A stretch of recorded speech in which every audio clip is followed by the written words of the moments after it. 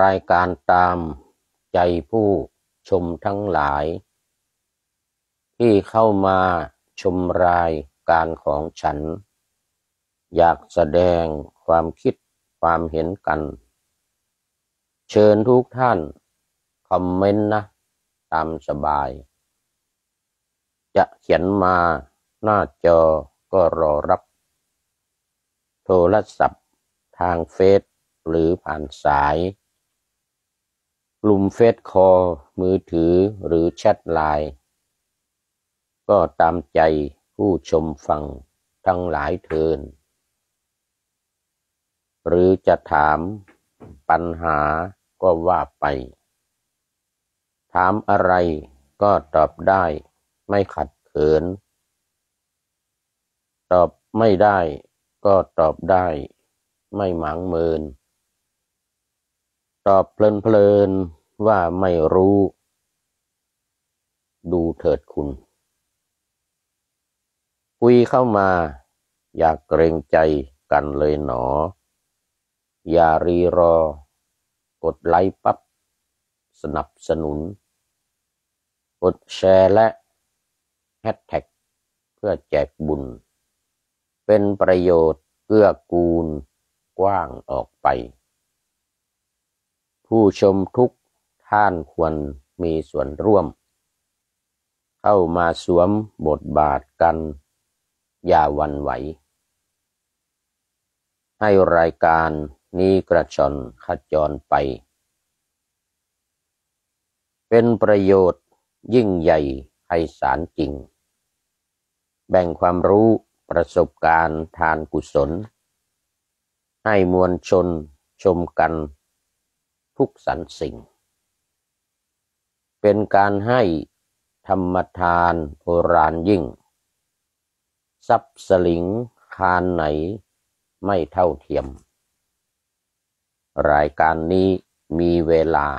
สามชั่วโมง บ่ายสามตรงในไทยจ้า อย่ามัวเหนียม ใกล้เวลารีบมานะ เพื่อตระเตรียม จนอาทิตย์รับเหลี่ยมเขาสุเมน รายการนี้มีเวลาสามชั่วโมงแปดโมงตรง ไอแลนด์จ้า อย่าอายเหนียม ได้เวลาอย่าลืมนะ โปรดตะเตรียม จนแสงแดดร้อนเกลียม สิบเอ็ดโมงขอถวายความนอบน้อมในองค์สมเด็จพระสัมมาสัมพุทธเจ้าขอถวายความเคารพพระมหาเถระพระเถรานุเถระ เจ้าคณะพระสังฆาธิการ ทั่วโลก อันมีพระเดชพระคุณ พระธรรมเสนาบดีรองเจ้าคณะภาคเจ็ดวัดพระธาตุดอยสุเทพเป็นต้น และขออำนวยพรแด่ท่านผู้ฟังท่านผู้ชม สาธุชน พุทธบริษัททั้งหลาย วันนี้รายการตามใจผู้ชม ก็เข้ามาสู่เวทีทาง Face Live Facebook Liveเหมือนเดิม อ่าเจ้าอธิการรักยานาธรรมโมมาแล้ว สาธุสาธุ อืม โอ้วันนี้เหลือเวลาอีกแค่ชั่วโมงครึ่งสามสิบนาที เออ เนื่องจากวันนี้ หิวข้าว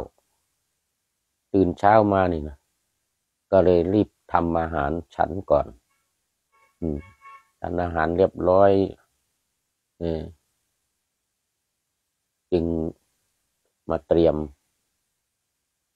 เตรียมออกอากาศ เออที่นี่กำลังสิบโมงครึ่งนะตอนนี้สิบโมงครึ่งอ่าก็แต่บรรยากาศแสงแดดกำลังออกมา แสงแดดกำลังออกมา แต่ว่าอุณหภูมิต่ำวันนี้สี่องศา อืม ตอนกลางคืนที่ผ่านมานี่สามองศาต่ำสุดสามองศา สูงสุดแค่เก้าองศาวันนี้นะตอนตอนร้อนร้อนนี่ก็จะเก้าองศา แต่ตอนนี้สี่องศา เออ แต่ว่าข้างบนนี้อุ่นดีในห้องนี้ในห้องนี้อุ่นดี อืม ก็ความเย็นมันคงเข้ามาไม่ได้เป็นกระจก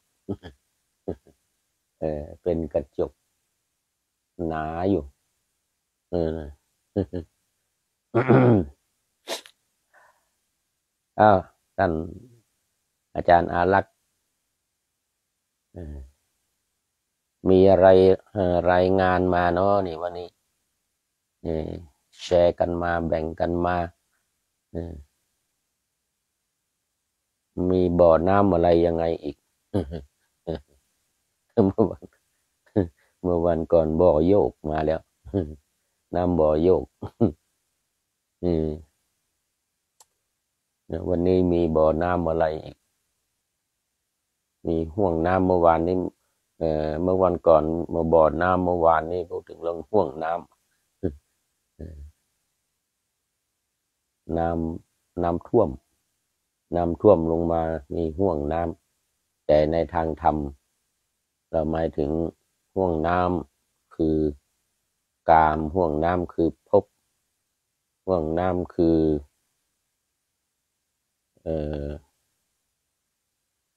ทิฏฐิห่วงน้ำคือเออวิชชานะตรงน้ำคืออวิชชานะซึ่ง เป็นสิ่งที่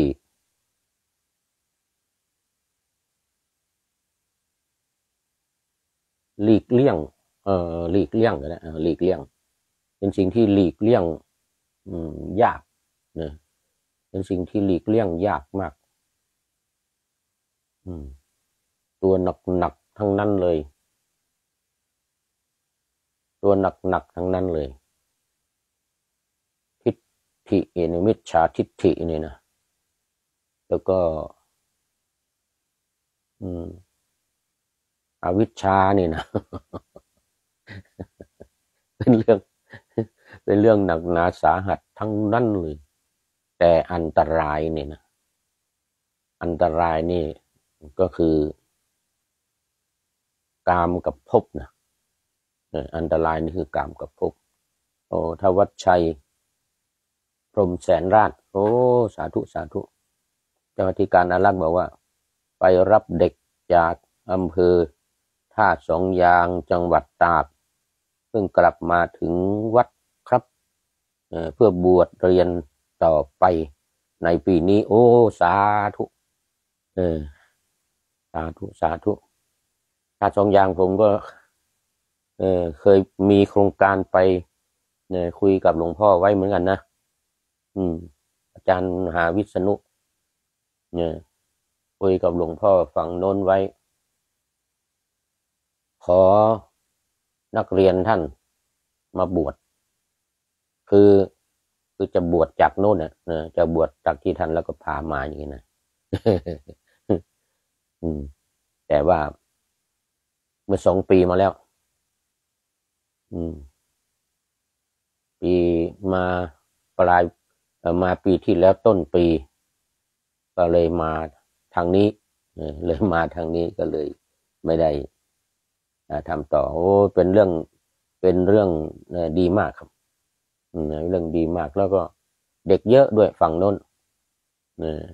ไม่ว่าจะเป็นท่าสองยาง ไม่ว่าจะเป็นทางแม่ลำมาดไปฝั่งทางทางเบียงแหงไปทางนู่นนะเดี๋ยวก่อนทางแม่อายโอ้โหนั่นก็เยอะ เออ เดี๋ยวอืมขออนุโมทนาในในเรื่องของการบวชเรียนนี่นะถึงไม่บวชถึงไม่บวชเรียนก็บวชภาคฤดูร้อน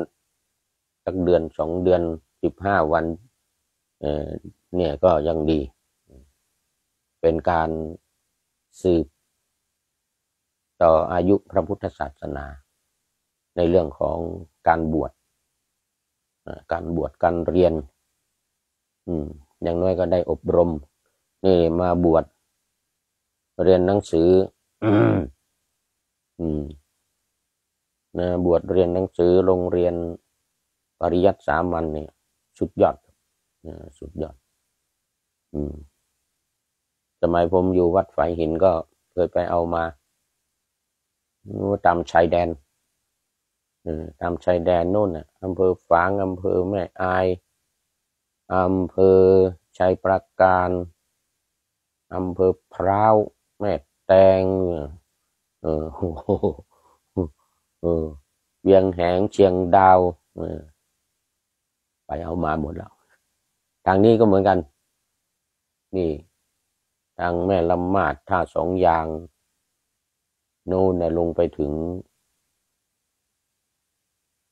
ตัวจังหวัด ตัวจังหวัดตากนู่นนะเออถึงตัวจังหวัดตากไปได้มาเยอะครับนี่ได้มาเยอะเอามาบวชมาเรียน โดยเฉพาะที่ตำรวจชายแดน โรงเรียนตำรวจชายแดนเลยที่อำเภออำเภอฝาง ชายประการครับอำเภอฝางชายประการนู่นในชายแดนเลยชายแดนพม่านู่นเลยนี่เป็นโรงเรียนตำรวจชายแดน โอ้นี่สาธุปนีจังหวัดตาก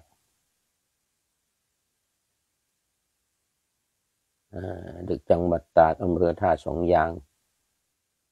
อืม โอ้ สาธุ สาธุ เอามาเยอะๆ เอามาเยอะ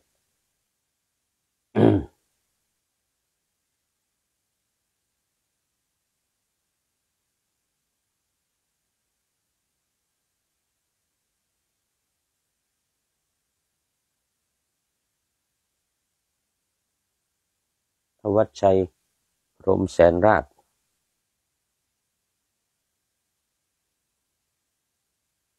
โอ้ สาธุ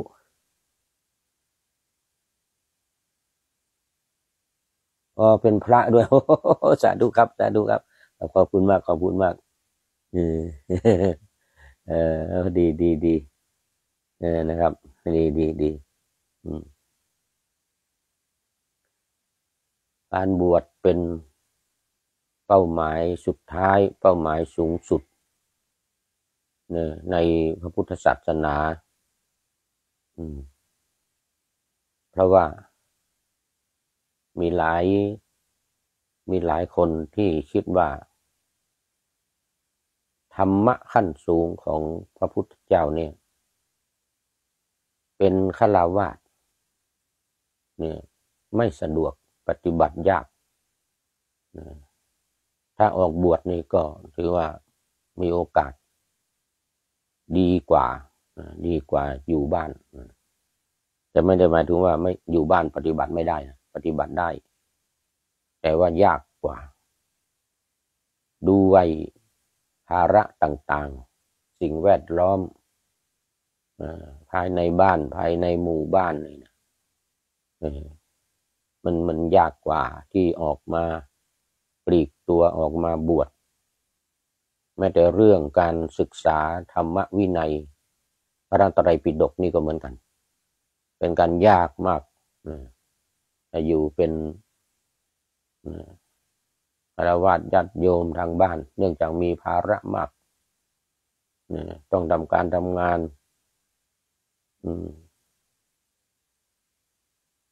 หาเลี้ยงชีพ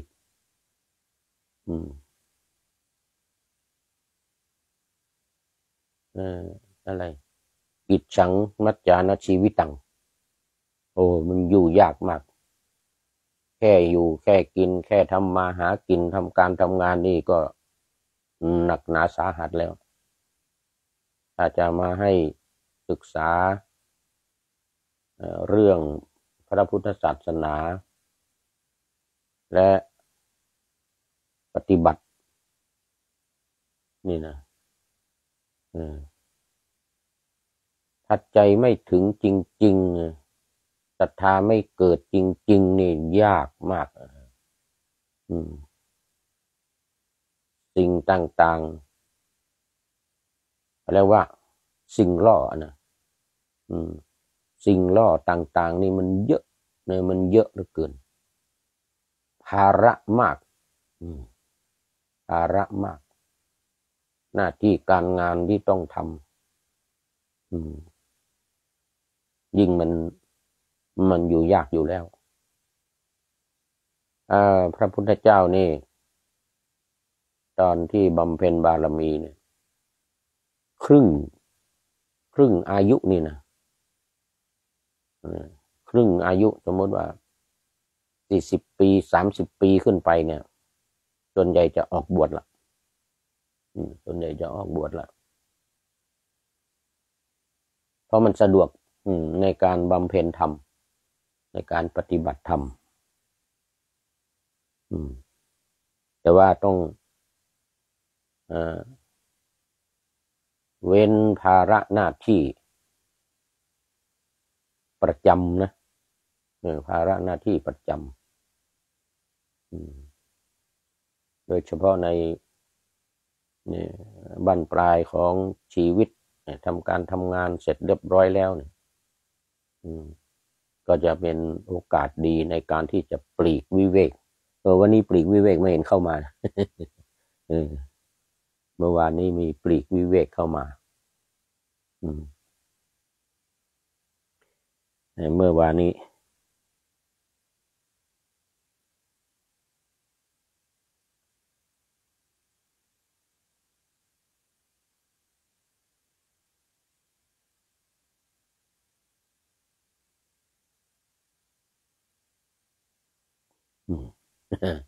เออ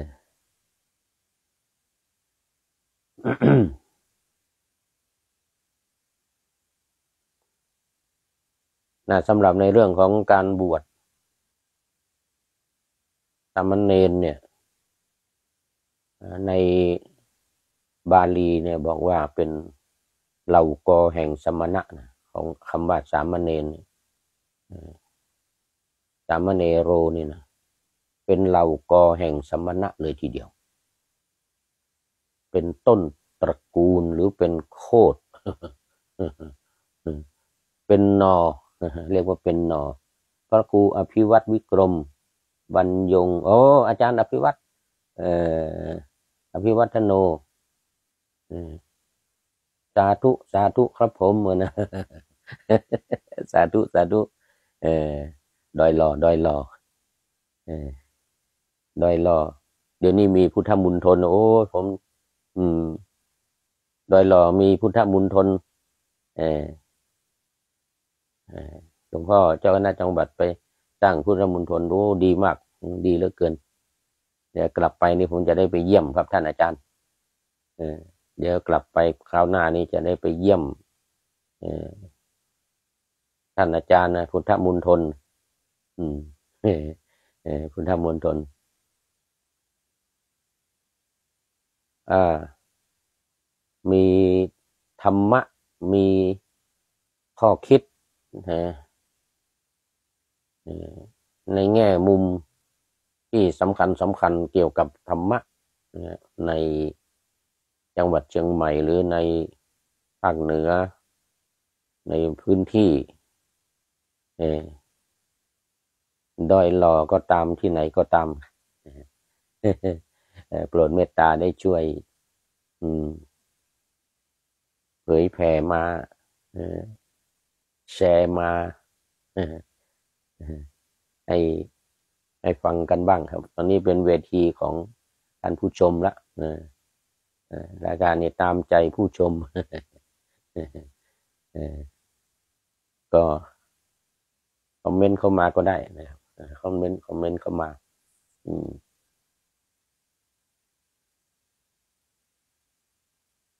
อ่านอครับนอของเชื้อหรือเผ่าพันธุ์ ต้นตระกูลนะก็ว่าได้สามเณรเนี่ยนะเอาเฉพาะตอนบวชก็แล้วกันนะตอนบวชก่อนจะบวชพระเนี่ย ต้องเป็นต้องบวชสามเณรก่อนเรียกว่าบรรพชา อืม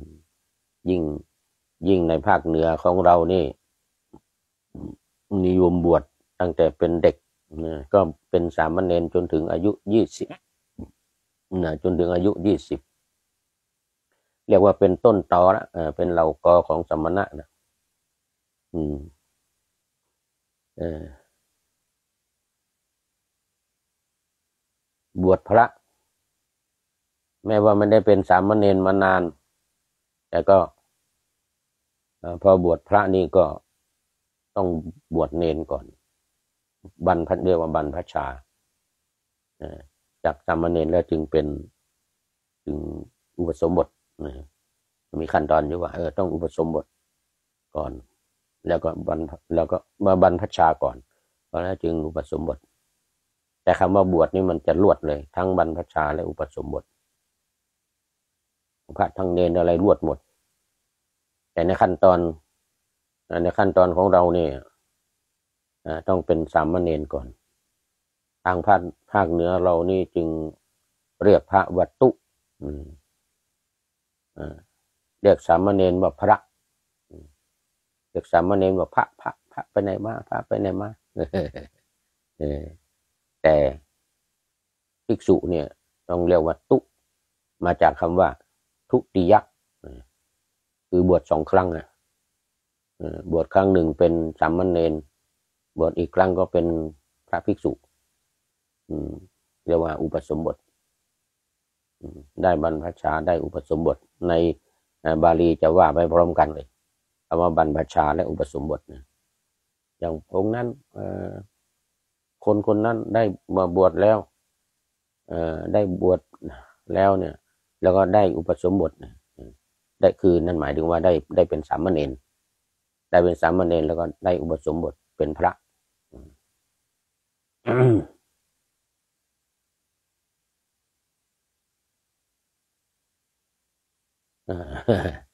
เออนี่ แล้วเรื่องของการเรียนการศึกษาเนี่ย ก็ต้องยอมรับมาระหว่างระหว่างผู้ใหญ่มาเรียนตอนใหญ่ตอนแก่ตอนเท่ากับเรียนตอน เป็นเด็กๆ ตอนเป็นสามเณรอายุสิบหกสิบเจ็ดนี่นะโอ้สมองต่างกันมาก ความจำความจำนี้ต่างกันมากหนึ่งเด็กๆจะจำเร็วกว่า แล้วก็สองไม่ลืมจำและเข้าใจแล้วไม่ลืม คนใหญ่ผู้ใหญ่นี่ยิ่งเข้ามาบวชตอนแก่เนี่ย อะไรมันก็หลงหลงลืมลืมสมองมันเต็มนี่สมองมันเต็ม คือเออบวชเเดี๋ยวเดี๋ยวอายุมากอะ อายุมากอะ มันรับมามากฟังมามากเรียนมามากสมองมันเต็มมันรับไม่ค่อยได้ รับได้ก็รับไม่นานหลงหลงลืมลืมนะเท่าแก่ เอออายุมากเท่าแก่ แต่ถ้าได้เรียนตอนเป็นเด็กอะดูอย่างปรริญญาธรรมเก้าประโยคนี่ถ้าได้ประเริญญาได้เป็นปรริญญาธรรมเก้าประโยคมาตั้งแต่เป็นสามเณรนี่นะโหสุดยอดนี่เพราะว่าหัวกำลังดี สมองกำลังดี อืมเรียนแล้วก็จดจำดีนี่ สมองดีเรียนดีจดจำดีครับ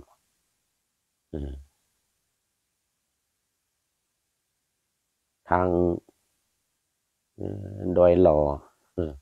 เออเป็นยังไงบางน้อเนี่ยตอนนี้เรื่องการ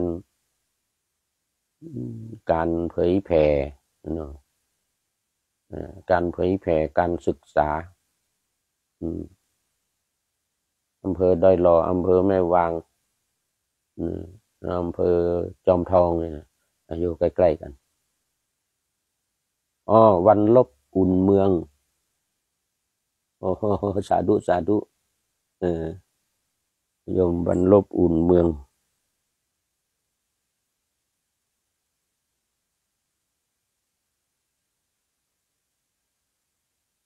อืมอ่าสาธุอนุโมทนา อยู่ทางไหนเนาะเนี่ยทางนี้ รายงานมันหน่อย อืม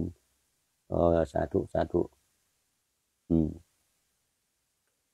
คุณโยมวันลบอุ่นเมือง อืมนะอ๋อกำลังพูดอยู่พูดถึงเรื่องของการบวชอยู่พอดี พูดถึงเรื่องของการบวชสามเณรการบวชพระ อืม มัน มันอยู่ในขั้นตอนสุดท้ายของอนุปุพีกถานะอนุปุพีกถาที่พุทธเจ้าทรงแสดงแล้วมีคนติดตามรับฟังแล้วได้บรรลุธรรมมากที่สุด คือคือได้ออกบวชขั้นตอนสุดท้ายนะนี่ทานศีลสวรรค์อาทีนวะนะคือโทษแห่งกรรมเสร็จแล้วก็เนกขมะอ อนุปูพีกถานี่ พระ ปัญจวัคคีนะ ปัญจวัคคีที่บวชครั้งแรกเนี่ย ท่านพระกุณทัญญะเนี่ย ได้แค่โสดับบันนะแต่พอมาได้ฟังอนุปุพีกถานี่นะ อืม แต่ฟังอนุปุพีกถานี่ได้บรรลุเป็นพระอรหันต์นะ อืม ทั้งห้าทั้งห้าองค์เนี่ยโกนทัญญะวัปปะพัทิยะมหานามะอัศชิเนี่ยฟังธรรมจักมาสองสามวันมีท่านโกนทัญญะรูปเดียวได้ได้เป็นโสดาบันนี่นะได้ดวงตาเห็นธรรมเป็นโสดาบันสามสี่องค์ยังไม่ยอมได้ฟังทุกวันธรรมจักพระองค์แสดง ธรรมนิยาม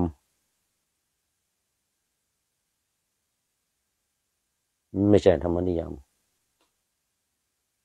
อาทิตย์อนัตเอออนัตตลักษณสูตรอนัตตลักษณสูตรด้วย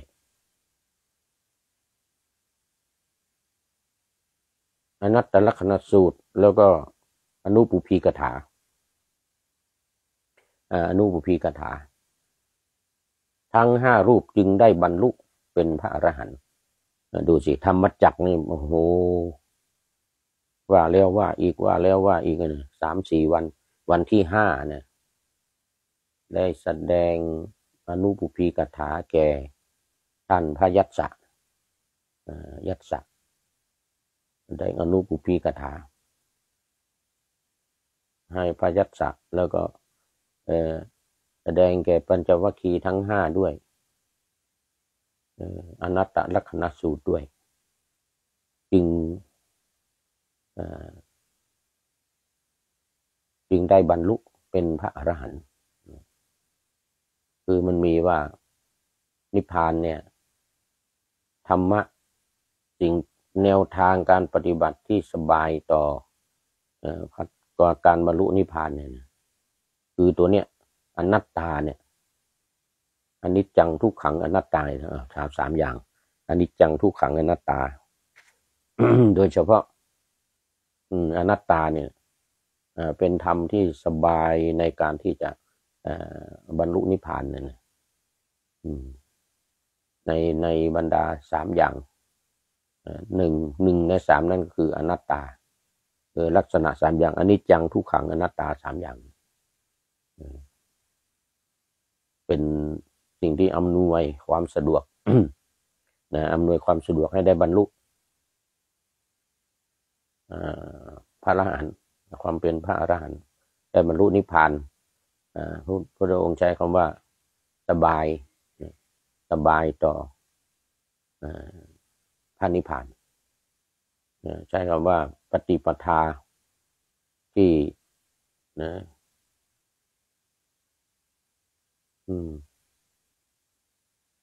ปฏิปทาที่สปายะ แก่การบรรลุนิพพานการบรรลุนิพพานก็คืออนัตตาเนี่ยอนิจจังทุกขังอนัตตาสามอย่าง ในสามอย่างนี้ก็มีอนัตตาอยู่ด้วยดังนั้นในในเรื่องของอการปฏิบัติเนี่ย ธรรมะสามอย่างนี้ ที่พระพุทธเจ้าให้ปัญจวัคคีย์ทั้งห้ารูปได้บรรลุเป็นพระอรหันต์คืออนัตตลักษณสูตร นอกจากธรรมจักนะธรรมจักแล้วก็อนัตตลักษณอนัตตลักษณสูตร แล้วก็อนุปุพีกถาอนุปุพีกถาอนุปุพีกถานี่เป็นลำดับเป็นขั้นตอนเลย เรียกว่าจากง่ายไปหายาก จากง่ายไปหายากคือทานก่อนเนี่ยพูดถึงเรื่องทานสองศีลเรื่องของการรักษาศีลสามสวรรค์ สวรรค์ก็ธรรมะสองอย่างคือหิริและอุตปะสวรรค์นี่หิริและอุตปะ อาทีนวะโทษแห่งกรรมโทษแห่งกรรมคุณทั้งหลายเนี่ย เมื่อเห็นโทษแห่งกรรมเมื่อรูปเสียงกลิ่นรสสัมผัส เนี่ย ทั้งห้าอย่างนี่นะเห็นโทษของมันก่อน ที่มันมากระทบกับตาหูจมูกลิ้นกายและใจตาหูจมูกลิ้นกายห้าอย่างนะอันนี้เรียกว่าเป็นโทษเอาให้เห็นโทษของมันเห็นโทษของกามทั้งห้าอย่างสุดท้ายเนคขมมะ เนคขมมะจึงจึงค่อยค่อยปรากฏค่อยเกิดเหมือนกันเด้อในเกิดถ้าไม่เห็นโทษของกามเลยนะอืม ถ้าไม่เห็นโทษของกามนี่โอ้เนคขมะนี่เกิดยากจะหลุ่มหลงมัวเมาติดอยู่ในเรื่องของกามคุณก็ยากในการที่จะออกได้ยากในการที่จะออกบวชได้ เพราะฉะนั้นข้อที่สี่เนี่ยอนุปุพีกถาเนี่ยจึงมี อาทีนวะ กามาทีนวะเลยมีการด้วยกามาทีนบเลยนะกามาทีนบหรือกามาทีนวะเลยเออทำให้จึงจะทำให้เกิดความเบื่อหน่าย เกิดความกลัวก็มีเมื่อเห็นโทษของมันเห็นโทษของกามแล้วเกิดความกลัวเกิดความอยากจะหลุดพ้นอยากจะออกออกจากกาม การออกจากกามทำไง เนคขมะ ตามมาข้อสุดท้ายในคำว่าตามมาข้อสุดท้ายคือการออกบวชนี่การออกบวชหรือเป็นเหตุก็ได้เอาอาทีกามาทีนวะ เนี่ยเป็นเหตุให้เกิดการออกบวชเพราะนั้นในเทวทูตทั้งสี่อย่างเนี่ย ความ แก่ความเจ็บความตายเนี่ยเทวทูตที่สี่ก็คือมอเอเดี๋ยวไม่ใช่บรรพชิตนะนักบวชนักบวชนะนักบวชคนที่ออกบวชนะคือเป็นแนวทางสุดท้ายที่พุทธองค์ทรงเห็นเทวทูตที่มาแสดงคราวที่เสด็จออก บรพาสต้นนะออกไปเห็นคนแก่ คนเจ็บคนตาย ยังไม่เท่าไหร่ยังไม่เท่าไหร่พอเห็นสมณะเออทีเนี้ยโอ้นึกขึ้นมาได้เลยหนทาง โล่งโปร่งเลยทีนี้ นี่ละนี่ละว่างั้นนะนี่แหละเป็นหนทางที่ที่ใช่แล้วว่างั้นนะ ที่ใช่แล้ว เห็นคนแก่คนเจ็บคนตายยังไม่เท่าไหร่ โอ้มันมันกลับมันมันมุมกลับกันเลยนะมันมุมกลับกันเลยนะตรงกันข้ามเลยนะระหว่างความแก่ความเจ็บความตายกับสมณะ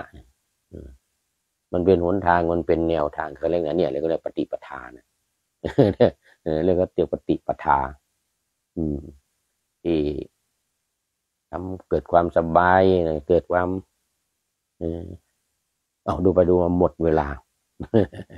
เออวันนี้หมดเวลา อืม ก็เออเป็นเออวันนี้ได้เรื่อง เอ่อได้เรื่องการบวชเนี่ยท่านอาจารย์อารักษ์ท่านเจ้าอธิการอารักษ์ จากอำเภอลีจังหวัดลำพูนกำลังไปรับเอาเด็กเด็กที่จังหวัดตากมาอำเภอท่าสองอย่างมาบวชเป็นสามเณรแล้วก็เรียนหนังสือ โอ้ก็อนุโมทนาเป็นอย่างยิ่ง เป็นเหตุให้สนทนาพูดคุยในแง่มุมต่างๆ ของการบวชจนปลุกมาถึง นนุปุพีกถาข้อที่ห้านี่ก็คือการบวชแล้วก็เทวทูตสี่ทูตที่สี่ทูตที่สี่คือสมณะสมณะก็คือการบวชนี่เองเพราะฉะนั้นวันนี้ก็ โอ้โอ้ลืม แผ่เมตตา แผ่เมตตา แผ่ พรหมวิหารธรรม และอัปปมัญญาธรรมเมตตากรุณา มุทิตา อุเบกขาแผ่โดยจอดจงเป็นโอทิสะพารณาหนึ่งจอดจงถึงตัวเองสองจอดจงถึงคนที่ใกล้ชิดพ่อแม่ลูกเต้าเราหลานแล้วก็ญาติสนิทมิตรสหายทั้งหลายอันนี้ก็เป็นอโนทิสพารณาหรืออัปมัญญาธรรม ที่สิ้นสุดไม่ได้นั่นแต่ไปโดยไม่เจาะจง แต่มวลสัตว์ทั้งหลายทั้งมวลในโลกนี้เพสัตตาเวลาหนตุอภยาปชาหนตุอนิคาหนตุสุขีอัตตานังปริหารันตุสัตว์ทั้งหลายที่เป็นเพื่อนทุกข์เกิดแก่เจ็บตายด้วยกันทั้งหมดทั้งสิ้นอเวลาโหนตุจงเป็นสุขเป็นสุขเถิด อย่าได้มีเวรแก่กันและกันเลย อาพยาประชาโหนตุจงเป็นสุขเป็นสุขเถิด อย่าได้เบียดเบียนซึ่งกันและกันเลยอานีคาโหนตุจงเป็นสุขเป็นสุขเถิด อย่าได้มีความทุกข์กายทุกข์ใจเลยสุขีอัตตานังปริหารันตุ จงมีความสุขกายสุขใจ รักษาตนให้พ้นจากทุกภัยทั้งสิ้นเทินสำหรับวันนี้ก็ขอขอบคุณทุกทุกท่านหลวงพ่อท่านพระครูอภิวัต วิกรมท่านเจ้าอธิการอารักษ์ท่านหลายท่านที่ที่ผ่านไปแล้วสุดท้ายเข้ามาปิดจอบวันนี้คุณโยมวันลบอุ่นอุ่นเมืองวันลบอุ่นเมืองเข้าเส้นชัยของรายการวันนี้หมดเวลา ขออำนวยไวยพรให้ทุกๆท่านนะทั้งความปรารถนาดี จากอาตมาผู้จัดพระครูปริยัติยานุสัตร์ขออำลาพลากจากผู้ชมฟัง ที่เดินยืนนั่งนอนฟังทั้งหลาย ขอให้มีความสุขใจและกาย สดชื่นสบายไปตลอดกาลนำเอาธรรมะไปปฏิบัติ เพื่อให้กำจัดทุกใหญ่ภัยพานคนเกิดตายในวัฏฏะสงสาร บรรลุนิพพานทุกท่านกันเทินขอเจริญพร